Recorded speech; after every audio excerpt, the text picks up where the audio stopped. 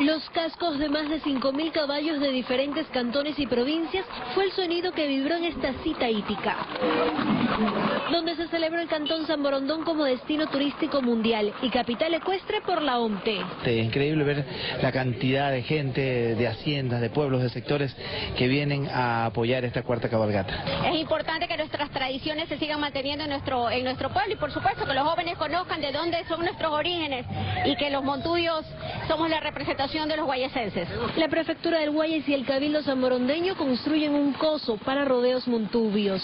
Los rodeos, la, las cabalgatas, las carreras de, eh, de caballos criollos y bueno, lo que se suma pues a, eh, a la construcción de nuevos escenarios, eh, aquí tiene usted aquí al lado el que estamos haciendo con el municipio de San Borondón, más dos escenarios adicionales, uno en Santa Lucía y uno en Balsar que terminaremos de construir en marzo. La cabalgata recorrió las calles principales del cantón, donde el público quedó asombrado de las habilidades de sus jinetes.